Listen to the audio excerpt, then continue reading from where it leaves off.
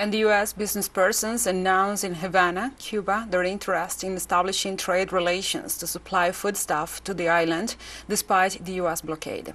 During a press conference at the Cuban Chamber of Commerce, business persons Mark Baum and Jorge Ignacio Fernandez emphasized their intention to explore the needs of the Cuban people and the potentials of trade.